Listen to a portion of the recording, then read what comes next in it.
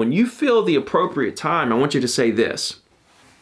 I want you to say, you know what? This is what I believe. I'm sharing that with you for nothing. Just get out there and succeed. What's up everybody? Ricky Carruth here. Welcome back to my channel. So, you know, since I've been doing this, all this coaching and, and, and all this selling and everything that I'm doing out there, my philosophy is be 95% low pressure, 5% high pressure. And so, so many of you are asking me, Ricky, when do I apply that 5%?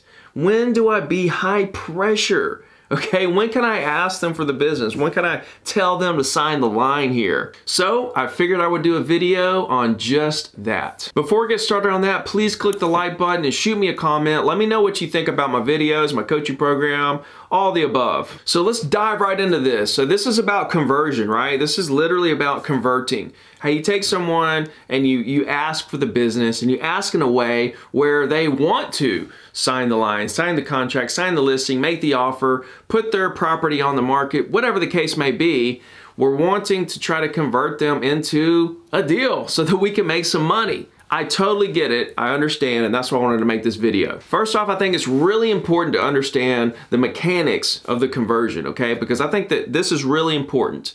I think that you should connect first, then convert. Okay? Connect first, then convert. So what we have to do is we have to really get to know someone.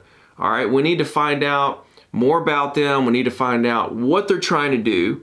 Okay, I like to ask if they have an agent they're going to work with and kind of try to establish, you know, my foot right there in the relationship. Okay, where do I stand? Am I going to be this agent? Do I have a shot to be the agent, you know, in this transaction? What what's going on here? Okay, and then from there, once I establish myself as their agent, you know, I want to know more about why. Why they're trying to do what they want to do. Why do they want to buy? Why do they want to sell?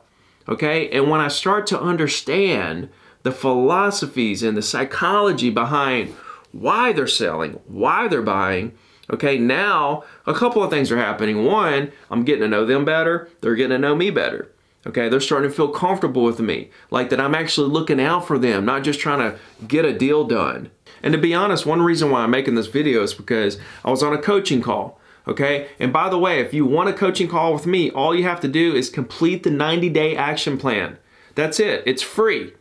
I do coaching calls for free. You complete the 90 day action plan. We get on a call. We talk about what happened during the 90 days. I talk about what the problems were, you know, what I can do to help you from that point. Then we create goals. Um, whatever you need, I'm there to talk about it and try to walk you through it. So I was on one of these calls uh, with a young lady who finished the 90 days, and she said that she had a lot of, and she's only about three months in the business. She's doing really well, but she said that she had a lot of people that she's talked to cold calling that are going to do business, you know, maybe three or four months from now. Okay, after the first the year into the spring. And I started asking her more and more about those situations. And I said, you know, are you asking them why they're waiting till the spring or why they're selling? And she said, no, not really. Um, and I said, okay, well, that there you go, because this is what happens. You think you have a prospect that's going to do business with you, okay, but you don't really, you didn't really ask them why. You didn't really go deep with the conversation. You really don't know what's going on. So you really don't know if they're really going to do something in the spring, okay? So, and also that conversation that you had, they could have been just telling you what they think that you wanted to hear to get you off the phone. They're not going to answer the phone when you call in the spring. Okay, you didn't connect with them, you didn't go deep, but you think you did because they told you, oh, I'm going to sell in the spring. Call me back then. Okay, that thinking that you're going to forget about them or thinking that, you know, they'll just not answer your call. That, trust me, that is a lot of the time. That, that That's more cases than not, especially with newer agents who don't understand the philosophy of tone and the FE, making people feel like they're a friend or family. Okay, so but I tried to explain to her, and that's what led me to this video, and I think it could be very beneficial for everybody watching, that that, that question of why they're selling, why they're buying, leads to us being able to set up a game plan around follow-up that they're going to be expecting. It's going to set the expectations for how the follow-up is going to go, and every situation is different. That's why I can't say this is how you follow up with everyone. All right, we're gonna we're gonna find out why they want to do what they want to do, and then create a game plan around that. now, you know, we're working as a team with them towards the end goal. So I want to connect first, then convert. I want to create the game plan around why they're buying or selling, okay? But okay, let's let's take that part out of the equation. Let's talk about how we ask for the business, okay? How do we actually convert once it gets to that point, okay? We've connected. All right, we're feeling it. We're, we're basically friends. They're telling us all about their family and their history and all this stuff. All right, and by the way, when people are talking a lot, that means they're feeling comfortable. Okay, so if you can get them talking to you and they're talking and talking, that means they feel comfortable with you, and that is what you want. Your number one goal is to make them feel comfortable with you. I'll say this over and over and over again. Okay, but say we're showing property. Okay, say we're working with a buyer. I want to give you a way to convert a buyer, a question, a statement, uh, uh, what to say to close in and to use that 5% high pressure at the right time for a buyer and for a seller. Two different scenarios. So let's talk about the buyer first. Got the buyer, we're showing houses. You know, we've looked at, say, for example, eight houses. This is after we've really connected, we really understand what's going on. We've, we've put together a game plan to work together with the prospect as a team for their end goal within the time frame that they want. Okay, we're on the sixth house of eight. We look at the other two. They say, we really want to go back to number six. We go back to number six. We're looking through number six, walking through there, and they're talking about how much they really like this house. Okay, um, or maybe they're not even saying that they really like the house. Maybe they're just giving, maybe you're just catching the vibes. Okay, a lot of times people won't tell you what they're really thinking. Okay, because they don't really want you to know for whatever reason. Maybe they don't know you well enough or whatever. Everybody's different. But let's say they tell you that they really like it or you just catch the vibe that they really like it. Okay, when you feel the appropriate time, I want you to say this.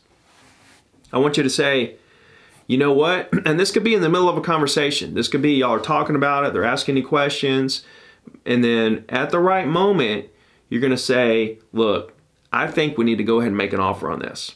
Are you guys ready to make an offer? Because I really think we should. Okay, that's the line. That's the high pressure. That's the 5%. Okay, we're going to say, look, I think we need to go ahead and make an offer on this. All right, are y'all ready to make an offer? Because I think we really should. Now, at this point, we've connected with them. They trust us. This isn't going to be like Phil. This isn't going to have a, a high pressure feel. And we're just throwing it out there. If they say no or they're against it, that's fine. We're just applying that 5%, throwing it out there to see what happens. And we've applied it much after the 95% low pressure. That's why it's okay to do it. So, and the reason, sometimes the reason why is because, hey, it's on the market now. It might not be tomorrow. If you really like it, I think we need to go ahead and make an offer. You ready to make an offer? Because I really think we should. Okay, so that's your buyers, 5% at the right time uh, line. Okay, so I hope that really helps you. It's something that I use a lot and it's something that really works a lot. Okay, for a seller, say I'm at a listing appointment or say I've met this seller several times or I know this seller, maybe we've done deals before, whatever the case may be, I've connected with them. The connection is there. I know why they want to sell. I understand, you know, everything going on with them and I've connected with them. All that's in place and done. Now we're to the point where, you know, they're giving, again, they're giving me the vibe that they want to go ahead and list, or maybe they talk, they, they say something that indicates that they're ready, but they haven't quite said it. Okay, it's time to apply that 5%. This is the line I'm going to use. I think we should go ahead and put it on the market. Are you ready to go ahead and put it on the market? Because I really think we should go ahead and do that. Now, I'm not saying list it okay? And I, I did a video about this. Um, you know, I mean, after you make people feel comfortable with you, that word listing is not is okay to use. You know, they're not going to care.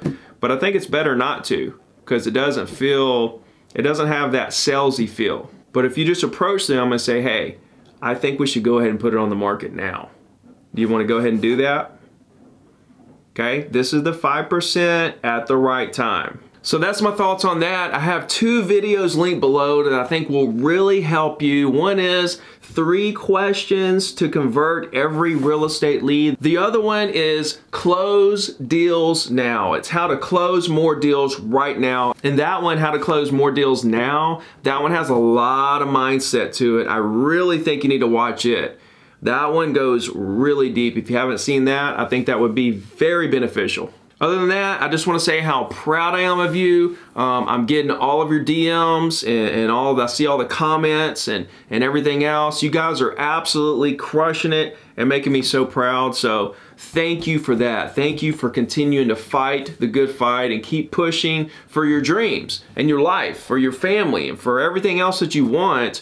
You just got to keep fighting. Nothing's easy. You just got to keep going and enjoy the process. So click that like button, hit that subscribe. Let me know what in the world I can do for you. We'll see you on the next video. Let's go.